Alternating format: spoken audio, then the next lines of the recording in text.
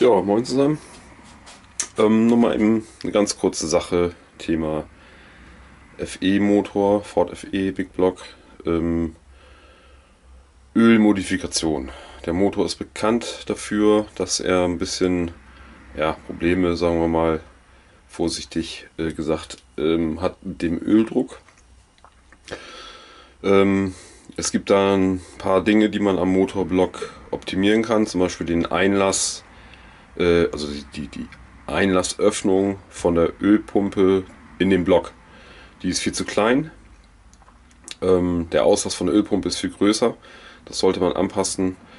Dann ähm, zum Beispiel die Dichtung am Ölfiltergehäuse. Diese beiden langen Kanäle. Die Dichtung hat nur quasi zwei Löcher. So. auch da ist es empfohlen, die Dichtung praktisch anzupassen und das so weit auszuschneiden, dass die ja auch diese langen Öffnungen hat.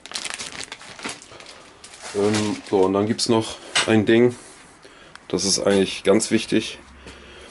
Ähm, und zwar wird beim FE wird, werden die Köpfe ja, geradezu überflutet mit Öl. Also viel zu viel Öl kommt in die Zylinderköpfe.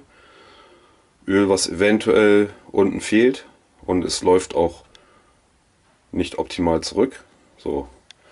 Und deswegen gibt es so, also wir haben ja hier den Ölkanal, kommt von unten, läuft am, an der Schraube vom Zylinderkopf vorbei, durch den Kanal hier oben hin und versorgt halt über diesen Lagerbock.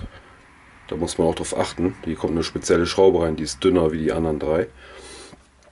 Ähm, wird halt das Öl in die Kipphebelwelle gepumpt und versorgt da halt die ganzen Kipphebel.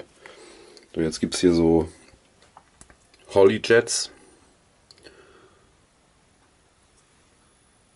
Und die passen da in der Regel genau rein.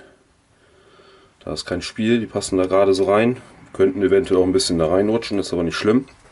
Weil hier ist es gesichert durch den Bolzen durch die Schraube vom Kopf und hier nachher durch den Stehbolzen vom, von der Lager, äh, von der Kipphebelachse. Also die können nirgendwo hin, aber reduzieren praktisch den Ölfluss äh, zu den Köpfen. Macht sich eben auch bemerkbar dadurch, dass man halt im Leerlauf äh, ein bisschen mehr Öldruck hat, was ja auch nicht verkehrt ist.